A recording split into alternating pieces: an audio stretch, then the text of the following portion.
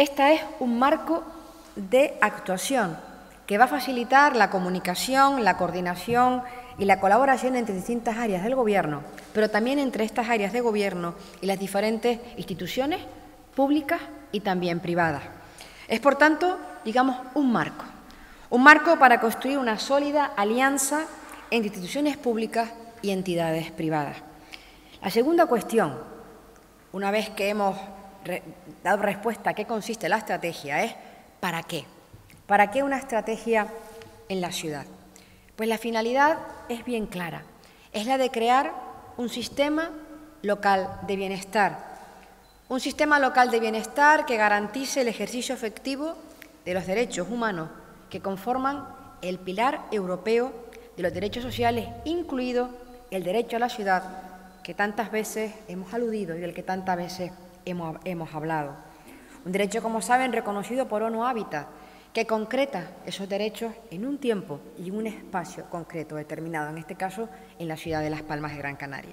Por tanto, el objetivo de esta estrategia es tener una visión compartida de los problemas comunes, una disposición para coordinar todas las actuaciones y, sobre todo, una voluntad de colaborar a partir de proyectos compartidos de intervención. La creación de este sistema local de bienestar va a contribuir, estamos convencidos, al desarrollo humano de quienes viven en la ciudad de Las Palmas de Gran Canaria, al tiempo que va a cumplir la finalidad por excelencia de esta estrategia, que es crear modos de vida seguros, saludables y sostenibles. Hemos visto en qué consiste, el para qué y ahora vamos al siguiente paso, el por qué. ¿Por qué esta estrategia aquí y ahora?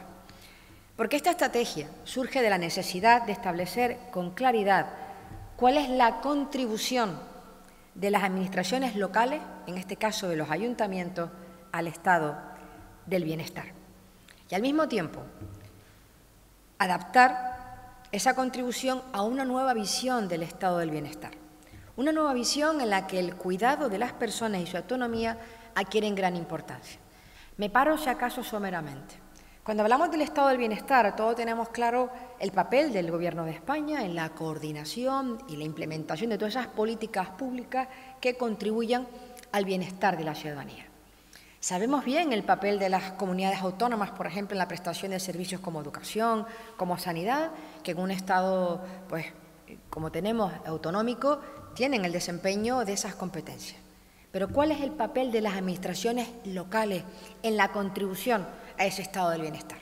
Eso es lo que pretendemos definir y concretar en este sistema local de bienestar. De acuerdo con ello, lo que proponemos en esta estrategia es que este ayuntamiento, como administración local que somos, contribuya al bienestar de las personas a través de cinco grandes líneas de trabajo, cinco grandes líneas de intervención. Estas son proteger, prevenir, capacitar, fortalecer la autonomía personal y desarrollar comunitariamente a la ciudadanía.